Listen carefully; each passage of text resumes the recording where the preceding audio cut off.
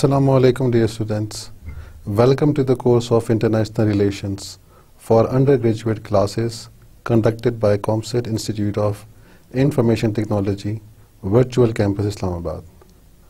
Dear students, we were doing international law and we will also continue the same unit today. Before we continue, let's have a review of our previous lecture. In the previous lecture, we discussed and we defined what is international law. International law, as we defined, is a set of principles, is a set of rules that governs the relations between indi independent states. ऐसे असूल जो कि international affairs में मुख्तलिफ states के बीच में जो relations हैं उसको रेगुलेट करते हैं उसको गवर्न करते हैं and then we discuss what is the need of international law why we need international law in our international relations. The need is that international law help us in regulating and in maintaining peaceful relations between states. Second, it helps us in preventing the use of force. So through international law, the states know that they don't have to use force. They have to settle disputes according to peaceful settlements and peaceful means of negotiations. Then international law also helps in the solution of problems. So international relations में जो problems आते हैं जो different types of complexities आते हैं so the international law help us in finding the solution to those problems and those disputes. Similarly, international law protects the rights, rights of individuals, right of states, right of different types of organizations as well. Next, it helps us in regulating and in the use of natural resources, in uh, monitoring and in regulating trade and business activities because these business activities and economic relations are established through some predefined sets of rules and principles. Similarly, international law helps in regulating the conduct of states and it also gives different principles and working of the diplomacy and their functions. Then we discuss the sources of international law. The different sources of international law are treaty, customs, judicial decisions, writings of scholars, jurists and commentators, and resolutions of international organisations ये भी हमने काफ़ी detail से इसको explain कर लिया था कि treaty also sets different types of agreements, different types of settlements between states. It may be between two states or it may involve many states. But somehow in treaty or agreements, because the states agree on some conditions, they agree on certain principles, and if these principles if these agreements are accepted by a larger number of states as very valid, as very genuine, and according to justice principles, then they become the source of international law. इसी तरह judicial decisions हैं जो court के अहकाम होते हैं जो उनके फैसले होते हैं so they also contribute in international law क्योंकि ये जो अदालती फैसले होते हैं they are based on justice they are based on some disputes which come across the courts and then the courts use their good sense in resolving those disputes or those problems. As a result, these judicial decisions become a source of international law. इसमें national courts भी आ सकते हैं और इसमें जो सबसे important court है वो इंटरनेशनल कोर्ट ऑफ जस्टिस है जो कि कहाँ पे है इट इज़ इन हेग इसी तरह जो स्कॉलर्स हैं, जो जूरिस्ट हैं, जो नामवर कानूनदान हैं, जो कि कानून पे एक काफ़ी गहरी नज़र रखते हैं तो उनकी जो आरा है, उनके जो ख्याल हैं, उनके जो अफकार हैं so they can also be the source of international law because these are expert people and while discussing different types of issues and different types of problems so they come across through their public through their personal opinions and through their expertise, they give different types of explanations, different types of interpretations. तो जो उनकी आरा है वो इंसाफ पे और इसी के साथ इंसाफ के जितने भी असूल हैं उन पे मुनहसर होती है and as these laws are acceptable by many states then they can become source of international law इसी तरह जो इंटरनेशनल ऑर्गेनाइजेशंस हैं जिस तरह यूएन है जिस तरह लीग ऑफ़ नेशंस है तो इनके जो रेजोल्यूशंस हैं so they can also be a source of international law because these resolutions get the support of a larger number of states. They involve a number of states and while discussing different type of disputes and different types of issues, when they agree on some particular points and then they uh, pass those points through some resolutions, some conventions, some seminars, some conferences, then the findings of those resolutions and conferences can become source of international law because it involved many states and have also gained the support of all these states. So this was the review of our previous lecture. Let's start our lecture with the topic International Court of Justice. हम इसको पढ़ चुके हैं कि एक आलमी अदालत बड़ा इंसाफ है जो कि इंटरनेशनल डिस्प्यूट्स को डील करता है उनके साथ इसका रोल है and it helps in giving decisions based on international law. So while discussing international law, the role of International Court of Justice is very important because it, its decisions are an important source of international law as well. And it solves different disputes which come across between states. So it's a branch of UN that meets in the Hague. Hague एक place uh, का नाम है which is located in Netherlands Netherlands का दूसरा नाम क्या है? Netherlands को हॉलैंड भी कहते हैं। तो हॉलैंड का एक शहर जिसको हेग कहते हैं वहाँ पे इंटरनेशनल कोर्ट ऑफ़ जस्टिस का ऑफ़िस है। In this court there are 15 जजेस and the conditions for these 15 judges are that they are selected from different countries. Different countries of the world which are members of UN. लेकिन इसमें शर्त ये है कि no two judges should be from the same country. किसी एक मुल्क से दो जजेस नहीं होने चाहिए इसी के साथ उनकी जो मुद्दत मुलाजमत है it is nine years. So the judges are elected for nine years and out of these nine, uh, these 15 judges, five judges are elected every three years. तो चूंकि 15 में से अगर 5 हर तीन साल बाद रिटायर हो रहे हैं और उनकी जगह मजीद 5 जजेस आ रहे हैं this means after nine years all the judges would be retired and they are replaced by new judges. So every judge has to serve for nine years but after three years, uh, fifth, five judges retired in order to ensure continuity within the court.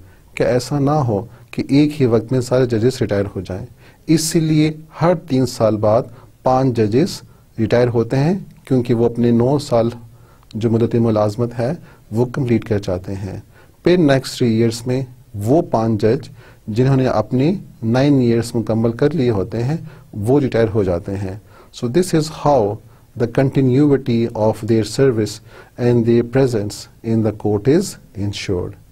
How are they selected? Remember, they are selected by United Nations. How they are selected? We will do this in more detail in the topic of United Nations. What International Court of Justice do? It hears cases brought by states against other states. Remember, ये चूँकि international court है international court में जो actors हैं वो states हैं वो रियासतें हैं तो लिहाजा रियासत ही रियासत के खिलाफ केस ला सकती है इंडिविजुअल्स यहाँ पे केस नहीं ला सकते वरना अगर ऐसा होता it will create much a mess it will create frustration It will create confusion So actually the parties in the International Court of Justice are the states. So the states can bring case against another state. or against any organization. And then these states cases are decided by the International Court of Justice. इसमें भी कुछ regulations हैं जो कि International Court of Justice monitor करता है क्योंकि international court of justice खुद किसी डिस्प्यूट में इन्वॉल्व नहीं हो सकता। यहाँ पे कोई केस अगर आता है तो एक स्टेट ने केस लाना है और इसी के साथ जो दूसरी पार्टी है तो उसने भी उस जुरिस्डिक्शन को मानना है, उसको तस्लीम करना है। अगर दोनों states international court of justice की जुरिस्डिक्शन को तस्लीम करें और माने कि हाँ इनका डिस्प्यूट आईसीजी ने सॉल्व करना है तब वो केस आईसीजी में आता है और वहाँ पे इसके ऊपर प्रोसीडिंग्स होती हैं। इसमें जो कुछ केसेस यहाँ पे मैंशनड है, जिस तरह हैंडोरस वर्सेस एल सल्वाडोर इनके बीच में जो बॉर्डर डिस्प्यूट्स हैं, ऐसे केसेस यहाँ पे पड़े हुए हैं। इसी तरह सबसे मशहूर case between India and Pakistan है, जो कि कैनॉल वाटर डिस्प्यूट का है। You are aware of this dispute This dispute was occurred soon after the independence of Pakistan. And this dispute was on the water problem, as you know, and this dispute was brought to the notice of International Court of Justice. And then it was solved through the Indus Water basin treaty तो इस तरह ये काफ़ी जो international problems हैं उनको solve करने की कोशिश करता है यहाँ पे in the image you can see the judges of the ICJ. They are 15 in number and you can also see the International Court of Justice and its place. This is again International Court of Justice and it's the outer location and outer view of the International Court of Justice and you can see it's a very beautiful location and a very beautiful place. Now the next question is, is international law a law क्या international law वाकई law है। क्या हम इसको law कह सकते हैं? तो इसको लॉ कहने के लिए if we can understand what is a law के कानून क्या है लॉ कहते किसे हैं तो इसमें ऑस्टन के मुताबिक a law is a rule of conduct impose and enforce by sovereign in the form of a command which oblige the subject to a course of conduct. Austin के मुताबिक law is the rule of the sovereign it is the command of sovereign ये जो सबसे supreme authority है state में, उसकी command है, उसका हुक्म है। वो जब हुक्म देता है, जिसकी वजह से उसके जो रियाया हैं, जो सब्जेक्ट्स हैं, जो पीपल हैं, जो डिफरेंट टाइप्स ऑफ़ ग्रुप्स हैं, फिर वो उसी के मुताबिक उसको फॉलो करते हैं। उनका बिहेवियर उसी लॉ के तहत चलता है। उसी असूल के तहत चलता है। तो ये जो असूल है, ये जो रूल ऑफ़ कंडक्ट है, ये जो सेट ऑफ़ बिहेवियर है which was enforced by the sovereign and which the people willingly obey is called the law now there are two diverse views about the international law one school name is called positive school and a second school name is historical school ये जो दो schools of thoughts हैं उनका international law के बारे में मुख्तलिफ़ opinion है मुख्तलिफ़ व्यूज़ हैं। देखते हैं कि इनका इनफरादी व्यू इंटरनेशनल लॉ के बारे में क्या है। The first one is the positive school the supported it is supported by John Austin and Holland So they are the main supporter of this school of thought, Holland and Austin. According to Austin, international law is not a law, but rules of morality governing international relations between states. तो Austin ने तो साफ़ साफ़ कह दिया कि international law law नहीं है इट्स नॉट अ लॉ ये तो एक मोरालिटी के रूल्स हैं ये तो कुछ ज़ात अखलाक हैं कुछ ऐसे असूल हैं जिनको स्टेट्स वैसे ही अखलाकी तौर पे तस्लीम करते हैं और फॉलो करते हैं। वैसे ये लॉ नहीं है। ये तो सिर्फ़ कुछ जब्त अखलाक के कायदे हैं, कुछ वैसे ही असूल हैं। So according to Austin it's not a law it's only the moral principles and the international countries in the international relations the states obey this laws और this principles only because they are moral they are rules of morality and not law. Then, international law, according to them, is not made by any formal legislature. वो मज़ीद कुछ support देते हैं कि international law law क्यों नहीं है आखिर क्यों हम इसको कानून के दायरे में नहीं ला सकते तो उनके मुताबिक ये किसी फॉर्मल लेजिस्लेचर किसी मुकन्ना से पास नहीं किया गया क्योंकि अक्सर जो लॉ के सोर्सेज हैं उसमें जो लॉ है एक फीचर ये भी है कुछ लॉस के लिए कि वो बाकायदा they are passed by legislature वो एक मुकन्ना इदारे से पास हो जाते हैं।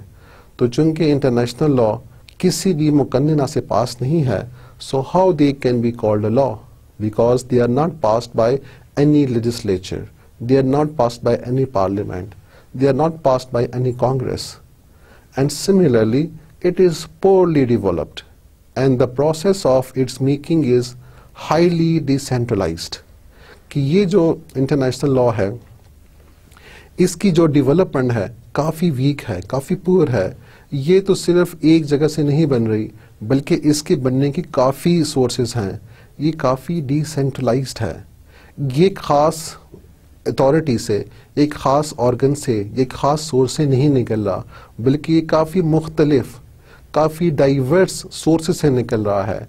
तो काफ़ी डिसेंट्रलाइज्ड है और पोअरली डेवलप्ड है इसके जो इर्तिका है वो भी काफ़ी काफ़ी पुअर है काफ़ी वीक है so that is some time it is made through treaties, sometime it is made through international organizations, the resolutions of international organizations, and sometime it is made through customs, and so on, etc.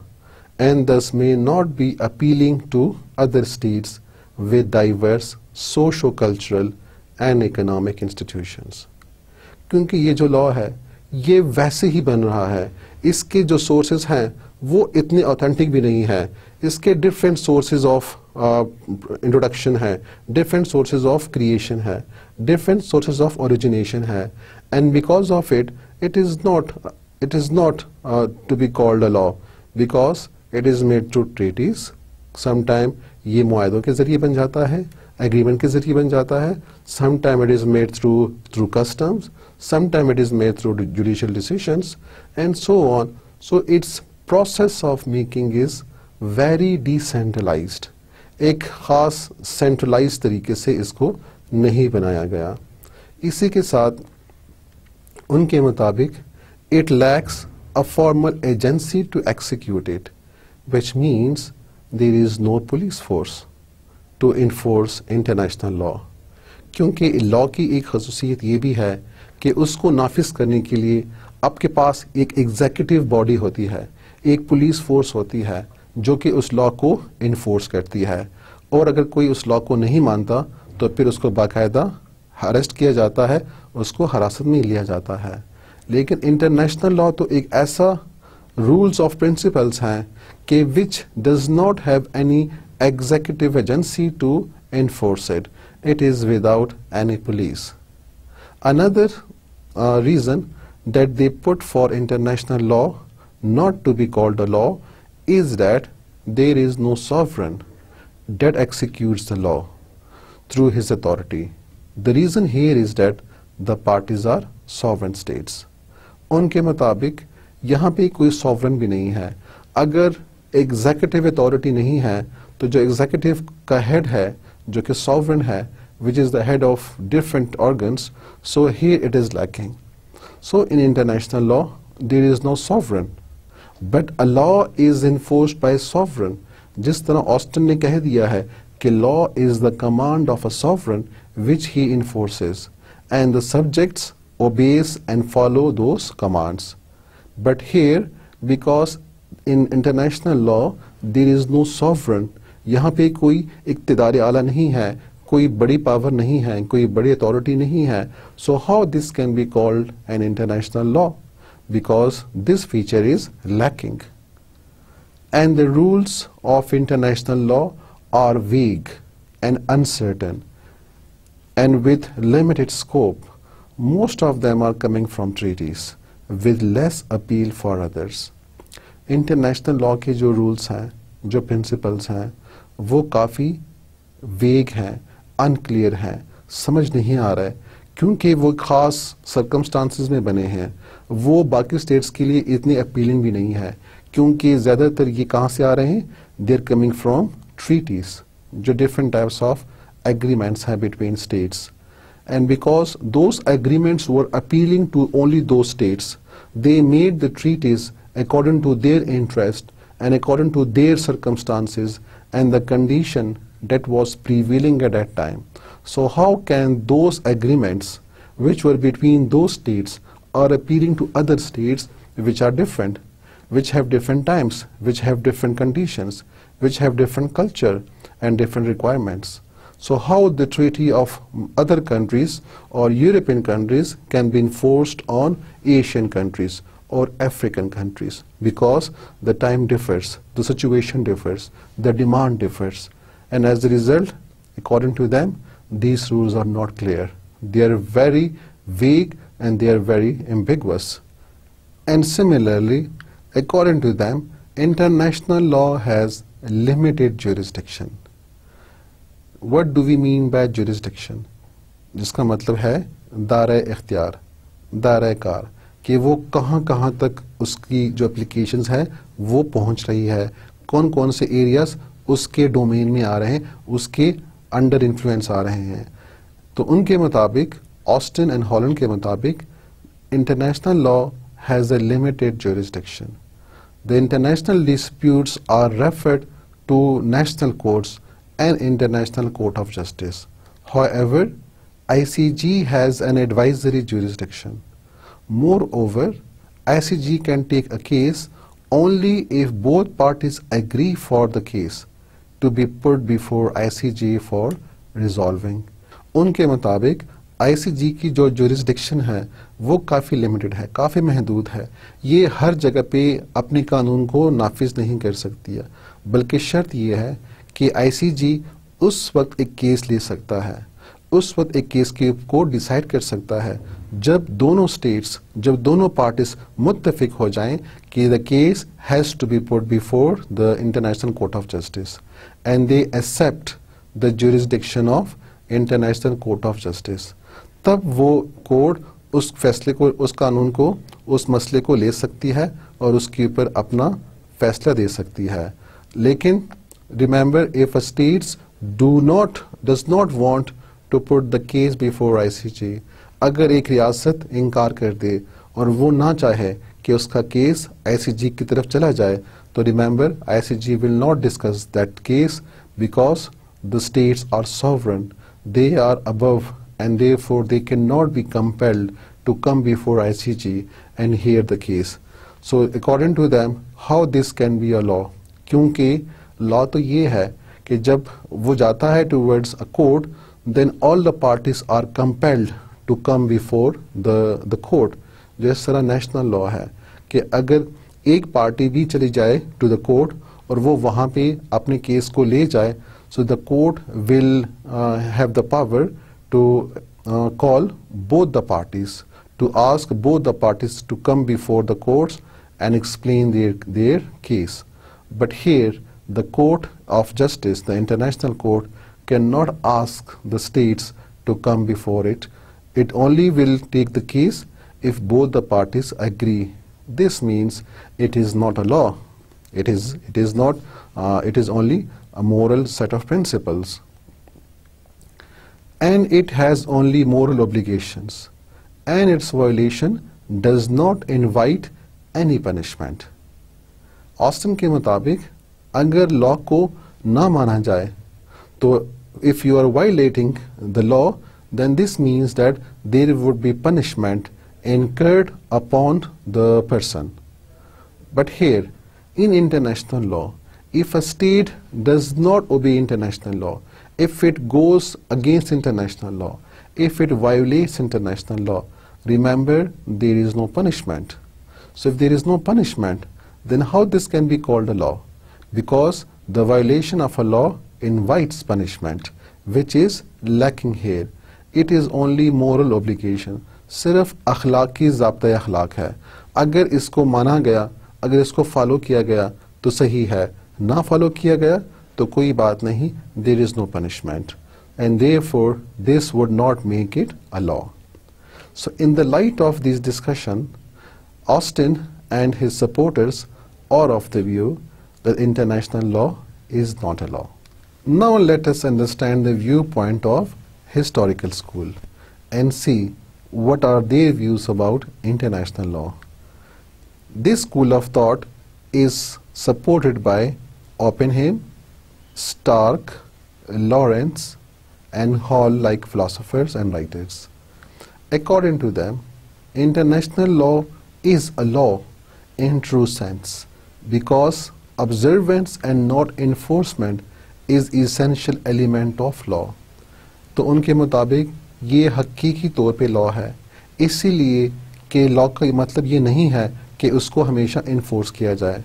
Law का मतलब है observance अगर आप किसी चीज़ को observe कर रहे हो, अगर आप कुछ असूलों को ऑब्ज़र्व कर रहे हो, आप उसको फॉलो कर रहे हो, आप उसकी तामील कर रहे हो so this would be called a law and not that its enforcement is a law इसका मतलब ये नहीं है कि अगर कोई एग्जीक्यूटिव एजेंसी मौजूद हो और वो उसको इन्फोर्स करे, तब ही वो लॉ कहलाएगा, वरना लॉ नहीं कहलाएगा।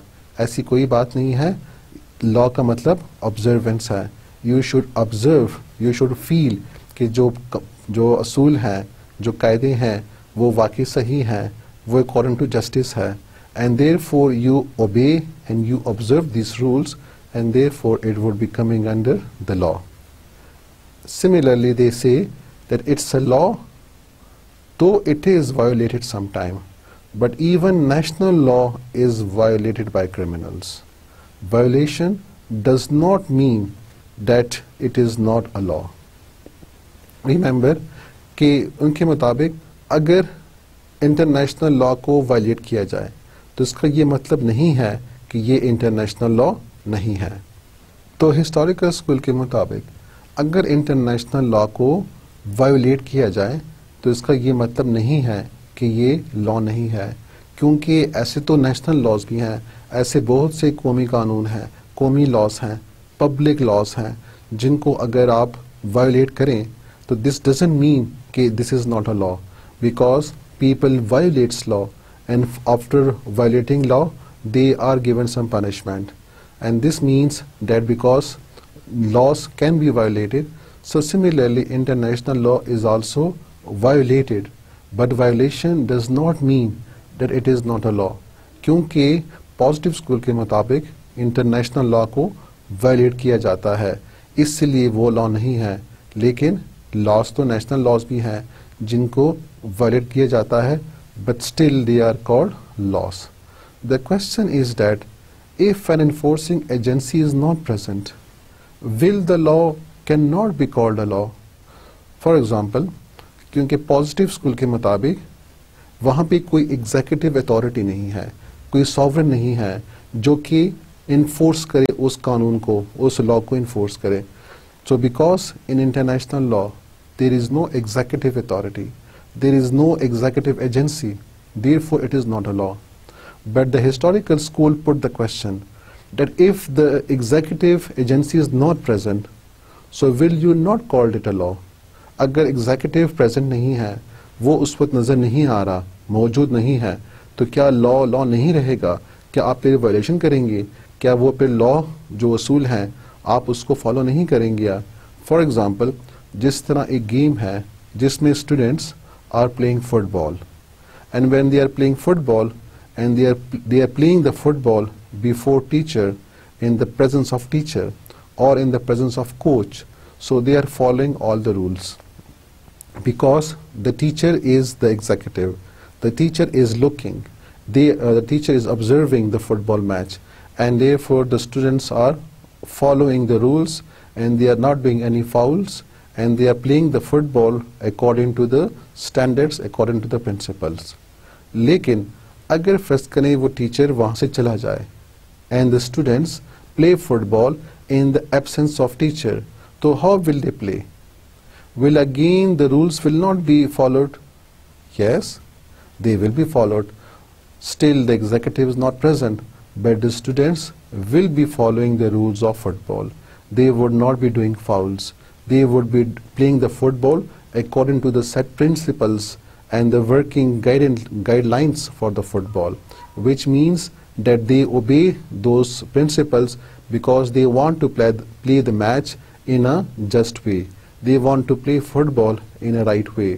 तो अब टीचर नहीं है एग्जीक्यूटिव नहीं है लेकिन अभी भी वो रूल्स मौजूद है तो इसी तरह इंटरनेशनल रिलेशंस में अगर एग्जीक्यूटिव नहीं है लेकिन रूल्स तो मौजूद है उसको फॉलो करना है और अगर एग्जीक्यूटिव नहीं है टीचर नहीं है तो इसका ये मतलब नहीं है कि इंटरनेशनल लॉ लॉ नहीं कहलाएगा अभी भी वो लॉ कहलाएगा only the teacher is not present but the states would observe it the states would follow it because these rules are good for them. It's good for their international relations. It is good for their proper international peace and the world peace.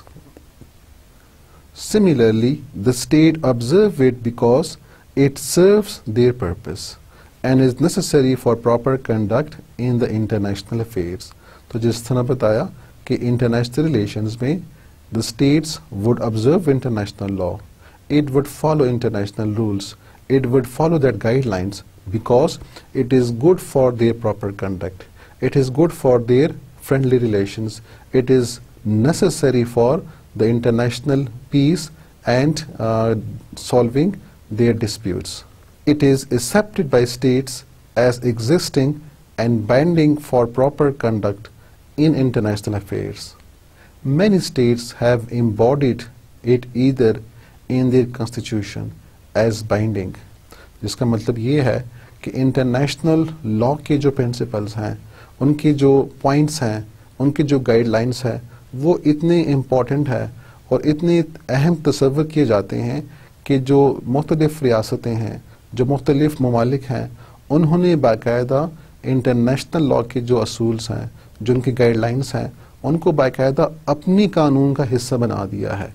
और अपने ही कानून में उन्होंने वही guidelines और ऐसे ही principles मुरतब कर दिए हैं, उनको इंक्लूड कर दिया है। क्योंकि वो जो असूल हैं, वो काफ़ी बैन अवी हैं, वो काफ़ी बेस्ड ऑन जस्टिस है। And therefore the states are accepting those rules in their national laws as well जिसमें एग्जांपल इंडिया और यूएस की है कि उन्होंने अपनी बाकायदा कॉन्स्टिट्यूशन में इंटरनेशनल लॉ के कुछ जो असूल हैं, जो गाइडलाइंस हैं, उनको इनकॉर्पोरेट किया है। और ये बातें उन्होंने मुख्तलिफ़ जगहों से ले ली हैं। It is also accepted by ICJ and UN as well even international law को आईसीजी जो इंटरनेशनल कोर्ट ऑफ़ जस्टिस है, वहाँ से भी पजीराई मिली है वहाँ से भी इसको तस्लीम किया गया है उन्होंने इसको बाकायदा एक्सेप्ट किया है इसी तरह जो यूएन है जो कि अकवा मुतहदा different states of the world almost most of the states of the world are members of UN. So if the UN has accepted it, which means the larger population of the world has accepted international law. Many of the states of the world which are now more than 190. So they have accepted international law and therefore it is then a law because if it has so much acceptance throughout the world then why it should not be called a law? Even UN Charter of 1945 authorized the UN Security Council to use force in order to maintain peace and security and compliance with rules of international law. International law law इसलिए है कि जो even UN का charter है, जो कि 1945 का है, उसने बाकायदा सिक्योरिटी काउंसिल को ऑथोराइज किया है, उसको पावर दी है कि उन्होंने दुनिया में अमन लाने के लिए और दुनिया में सिक्योरिटी लाने के लिए they have to insure that the state obeys international law they follow international law they discuss and they deals with one another in accordance with international law so that no states violate international law because violation of international law may bring tension it may bring conflicts and may result in war as a result the UN Security Council is given this responsibility to ensure that the states are complying with the rules of international law इसी तरह वो कहते हैं positive school वाले कि international law को enforce नहीं किया जाता वहाँ पे कोई कोर्ट नहीं है but there is a court, there is an enforcing agency. We have ICG, International Court of Justice, and then there is UN, United Nations. They ask for blockades, they enforce international law, and therefore, if any country violates international law, if a country is very belligerent, if a country is very unacceptable and the behavior is very unacceptable. And it is violating all the norms of international law. और वो international law के कोई भी कवानीन पे अमल नहीं कर रहा और दुनिया के लिए ख़तरा बन चुका है तो अब उसके खिलाफ एक्शन लिया जा सकता है। The U N can ask for blockades वो वहाँ का ब्लॉकेट कर सकता है। वहाँ की तजारत रोक सकता है। वहाँ तक कोई भी आमदोरफ्त और कोई भी तजारती सरगर्मियों को रोक सकता है। It can ask for diplomatic sanctions वो वहाँ पे सफारती पाबंदियाँ लगा सकता है, वहाँ के सफारत खाने क्लोज कर सकता है और इसी तरह उनके सफ़ीरों को अपने मुल्क से बाहर निकाल सकता है। तो अगर एक कंट्री के सफारती ताल्लुक बाकी दुनिया के साथ ख़त्म हो जाते हैं तो उस कंट्री का अपना वजूद, अपना एग्जिस्टेंस इस आजकल के ज़माने में रखना बहुत डिफ़िकल्ट हो जाता है। Because every country is dependent on so many countries for its affairs, for its trade, for its relations. So remember these would be very severe punishments if they are enforced by the international community.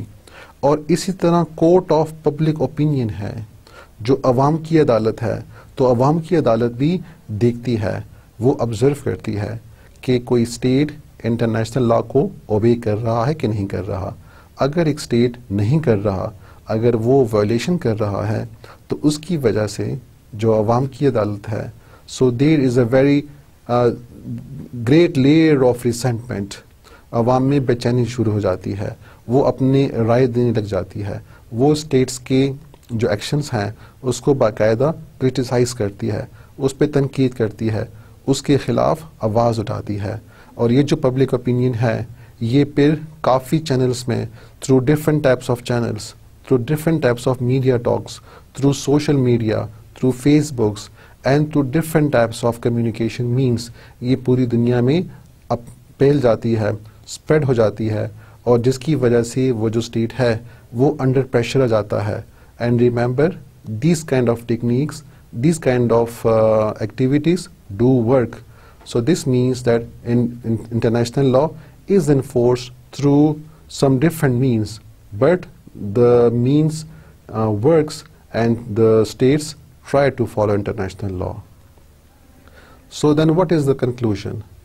Is it a law or is it not a law? Let's see what we can conclude in this. So in conclusion, we can say that international law is a law. It is still under the process of development.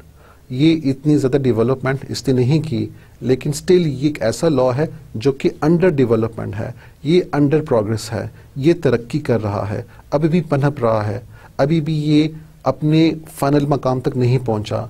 It is learning it is passing through different types of stages but it is a law and it is becoming more exact with the passage of time as it is more codified ये वक्त के साथ साथ मज़ीद exact हो रहा है।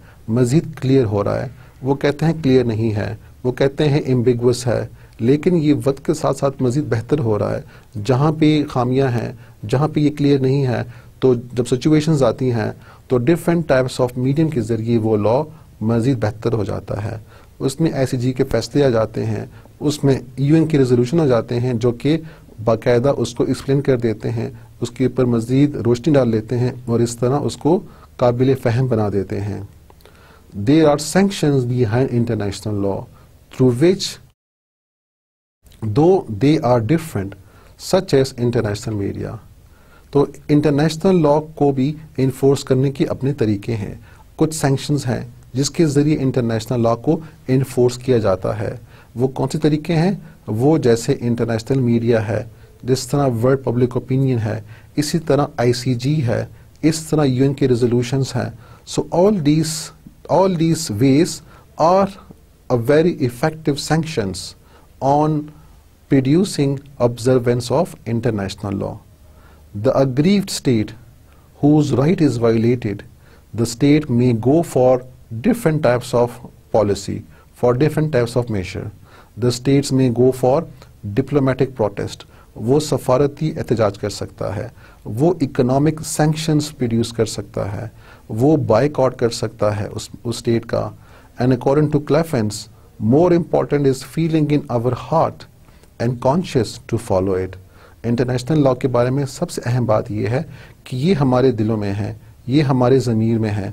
हम इसको फॉलो करते हैं, क्योंकि हम समझते हैं कि ये एक अमन पर अमन ज़िंदगी के लिए बेहतर है।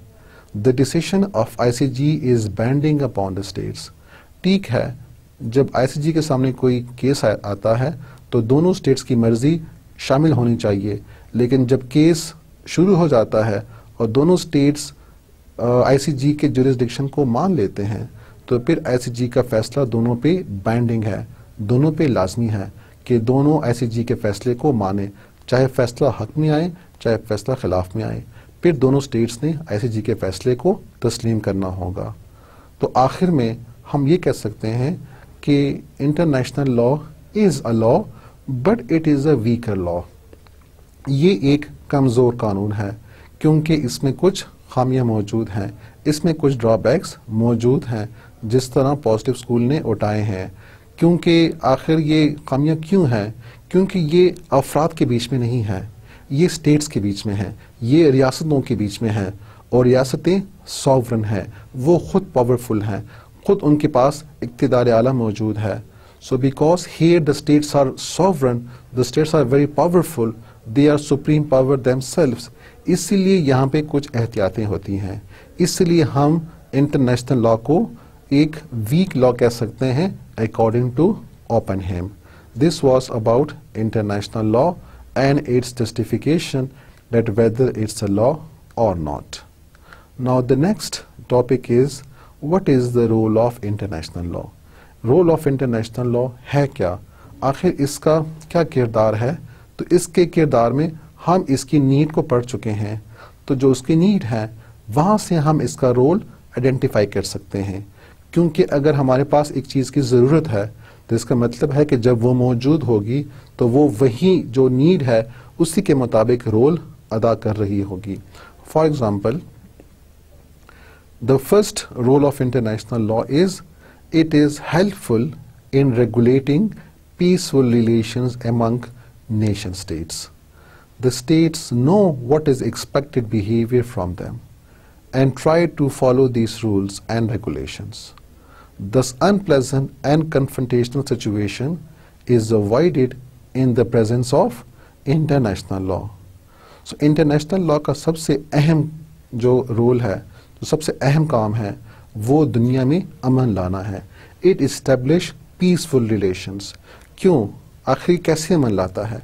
क्योंकि आज कल जो डिफरेंट स्टेट्स हैं so they know about international law they are aware of what is expected from them they know that how they would show their behaviour how they would govern their behaviour how they would follow their foreign policy how they would follow their national interest So they have all the guidelines and the rules of international law before them. तो जब international law के rule सारे states को पता है वो जानते हैं इसको तो फिर वो उस पर अमल भी करते हैं और जब अमल करते हैं तो जिसकी वजह से we have peace existing in the world remember the world is peaceful today there are no wars There are wars at different places, but they are not very large scale war. Why the wars Or the large scale wars are prevented? This is because of the presence of international law. The second is that it helps in resolving problems confronted on the international level between states. In the absence, the state might come across a war-like situation. In case a problem arises, both the state try to solve the problem keeping in mind the actual accepted norms and principles तो जिस तरह हमने बताया कि international law जो different states हैं, उनके बीच में जो डिस्प्यूट्स हैं, उनके बीच में जो प्रॉब्लम्स हैं, उनको सॉल्व कर लेता है। उनको सॉल्व कैसे करता है? Through negotiations through talks and through the guidelines which are set by international law तो चूँकि स्टेट्स को इंटरनेशनल लॉ के बारे में पता है, उनको पता है कि उनकी जिम्मेदारियाँ क्या हैं, उनके हकूक क्या हैं उनकी फ़राइज़ क्या हैं तो वो उसी के मुताबिक अमल पैरा होते हैं वो अपने जितने भी उनके मसाइल हैं उनको इंटरनेशनल लॉ के असूलों के मुताबिक उनको सामने रख के उनके ऊपर फैसला करते हैं या उनको फॉलो करते हैं जिसकी वजह से international law has helped in solving different types of problems. Even if the problem is not solved by the states, the states can go to ICG, it can go to International Court of Justice and put the case before it. And then the International Court of Justice would try to solve the problem through international law.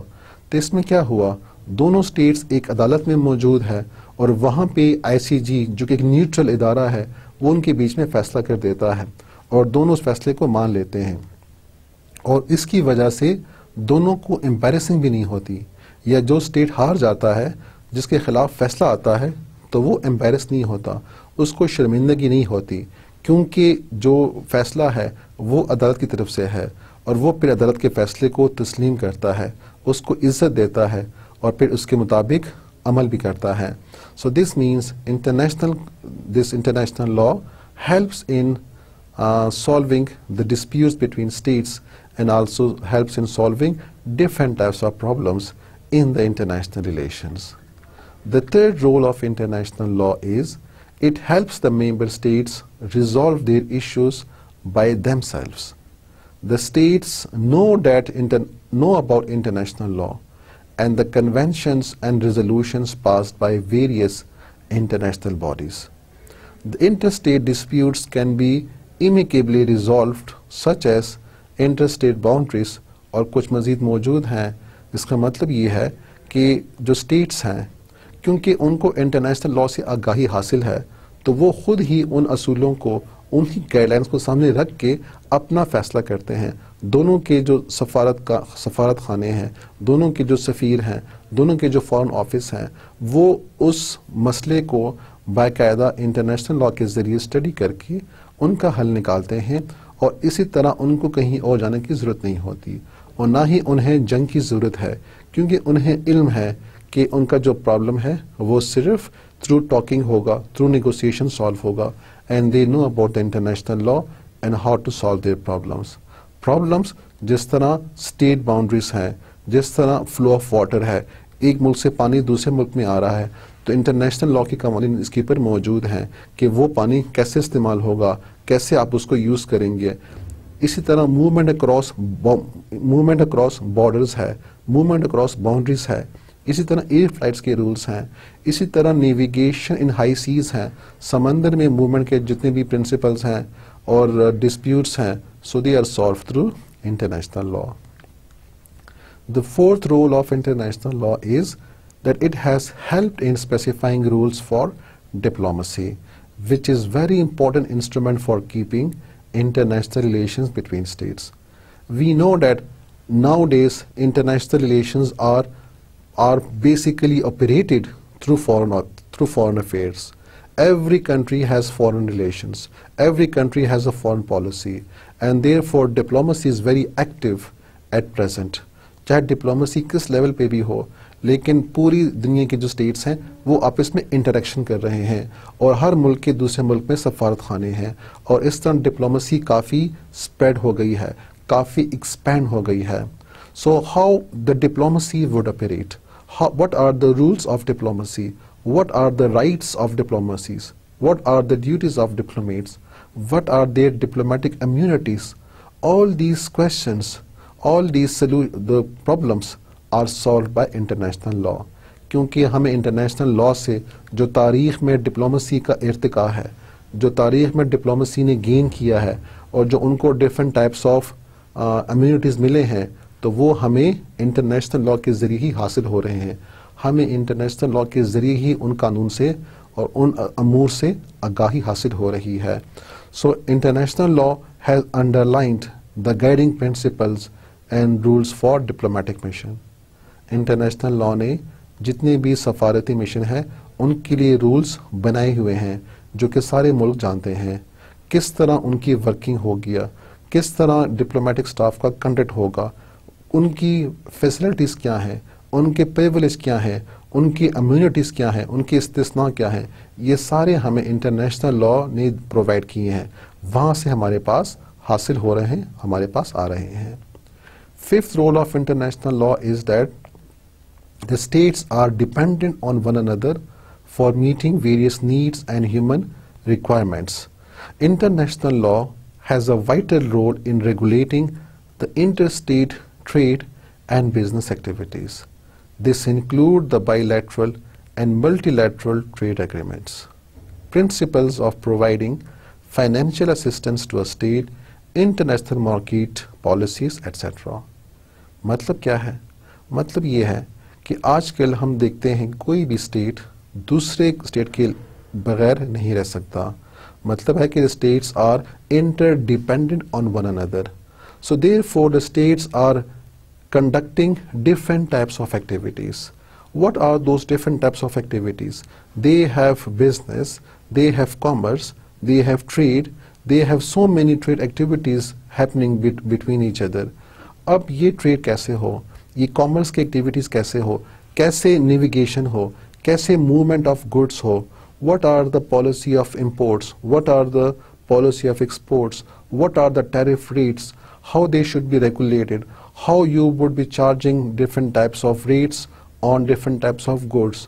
All these matters are being held by and being guidelined by international law because they, from the treaties, from the agreements, from the resolutions, and from the world body on, on trade and activities. So we are taking those guidelines from them and as a result ये जो states हैं ये काफ़ी आसानी के साथ, एक दूसरे के साथ ये रिलेशंस उसतवार रखे हुए हैं। And they are conducting all this activities in a very fruitful manner in a very friendly manner similarly international law has a key role in protection and promotion of social and political institutions it has protected the rights of individuals against other states and organization it has codified and set rules and standards for advancing human rights, women rights, labor rights, child protection, child labor and similarly protection of animals.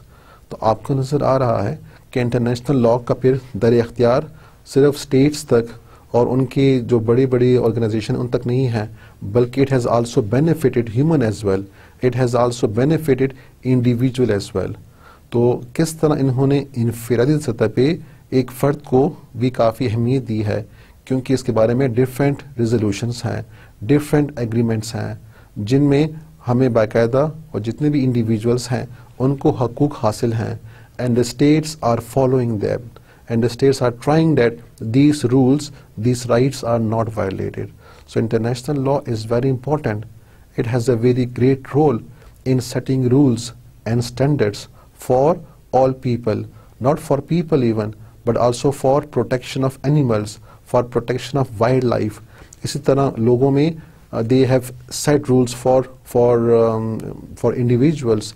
They have set rules for for women, for child rights, for for slave for slave आजकल तो slave नहीं है uh, prisoners so how the prisoners would be treated if they are caught in a war so how how they would be um, treated what kind of uh, facilities they should be given and they should not be punished brutally so all these things all these guidelines are being set by the international law as a result most of these rights are now given legal status by member countries through their legislation कि ये जो international law की guidelines हैं जिसमें different individuals के और different groups के जो राइट्स गिवन हैं और रूल्स ऑफ़ मोरालिटी गिवन है इतने अहम हैं कि बाकायदा दुनिया में बहुत से ममालिक ने उनको बाकायदा अपने आइन का हिस्सा बना दिया है अपने कानून में उनको डाल लिया है।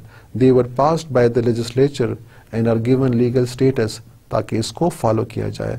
तो इसी तरह तकरीबन बहुत से ममालिक they are trying to protect women rights they are trying to protect child rights individual rights human rights wild life protections, environmental protections, and so on. So these were some of the important role of international law.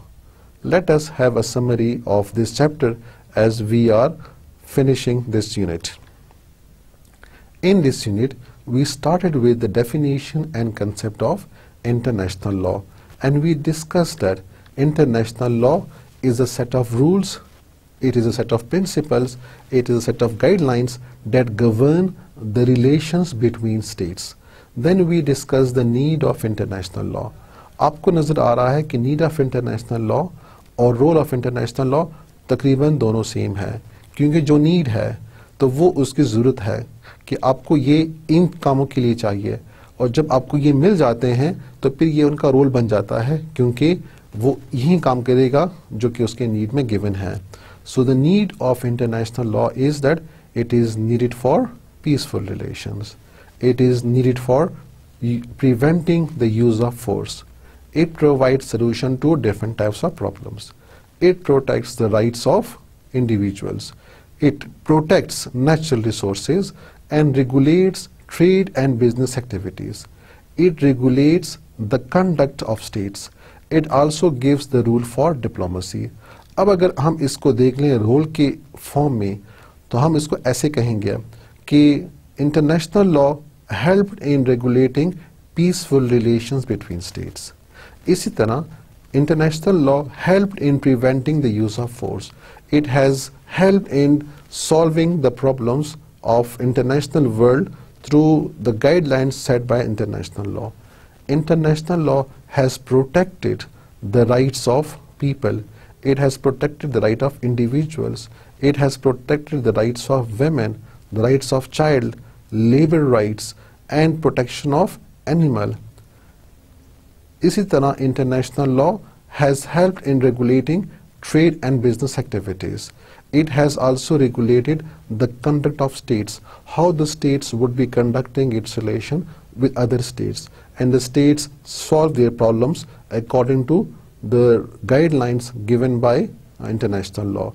And international law has given us many rules and guidelines for diplomacy, for the working of diplomatic missions, their rights and their duties and their diplomatic immunities. All these are given by the international law. Then we discussed the sources of international law and some of the sources of international law or treaty जो कि दो मुल्क या दो से ज़्यादा के बीच में भी जो मुआदे हैं, जो एग्रीमेंट्स हैं, वो हो सकते हैं। चूँकि इसमें बहुत से कंट्रीज़ अगर इन्वॉल्व हो जाएँ और that are based on justice so that kind of treaty can become a part of international law similarly customs कुछ प्रैक्टिसेस जो कि लोग करते हैं और फिर उसको वाइडली एक्सेप्ट किया जाता है and then it is also accepted by states then such kind of customs can become international law जिस तरह डिप्लोमेटिक इम्यूनिटीज़ हैं जिस तरह डिप्लोमेटिक फंक्शंस हैं so all these passes through as a customs as they were practiced throughout uh, the history. इसी तरह judicial decisions हैं जो अदालती फैसले हैं because they are based on justice because they are based on equity. So such kind of decisions can be a part of international law. इसी तरह the writings of scholars, their interpretations, their explanations, their summary notes on different types of issues and different types of problems and their remarks and their opinions can be a source of law if they are accepted by states as based on justice. इसी तरह the resolutions passed by different types of international organizations can also be a source of international law because international organization में बहुत से countries involve है। और जब वो कोई रेजोल्यूशन पास करते हैं तो उनको सारे कंट्रीज़ की पजीराई हासिल हो जाती है। और इसी तरह वो आसानी के साथ इंटरनेशनल लॉ का हिस्सा बन जाता है। उसके बाद हमने टॉपिक किया कि इस international law really a law और उसमें हमने ये बताया कि there are two schools of thought one is called the positive school and the second is called historical school positive school के मुताबिक इंटरनेशनल लॉ लॉ नहीं है। Best not a law because there there observation are that it is not made by a formal legislature कि किसी मुकन्ना ने इसको बाकायदा नहीं बनाया, बल्कि इसके बनाने के तो काफ़ी ज़्यादा सोर्सेज हैं। लेकिन वो ये भूल जाते हैं कि जो बाकी नेशनल लॉस हैं तो वो भी तो काफ़ी ज़राए से हासिल होते हैं।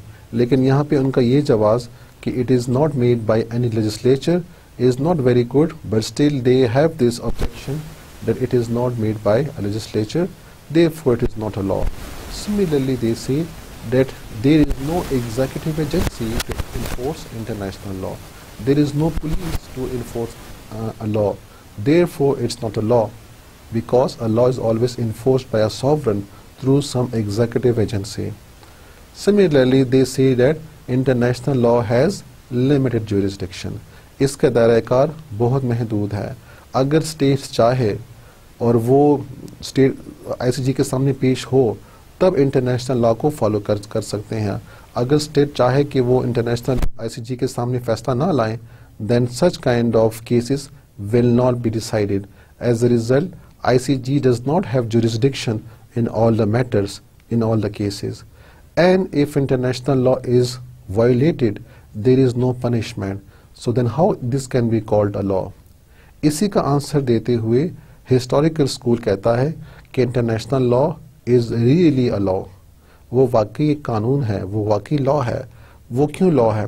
इसीलिए कि इंटरनेशनल लॉ अगर आप ये कहो कि it is not made by legislature but similarly many laws are made not by legislatures also other laws come from different types of sources. They come from religion, they come from treaty, they can come from customs, they can co come from the people belief. So as a result, other laws are also not coming from legislature. Similarly, there is uh, the presence of executive agency is not necessary.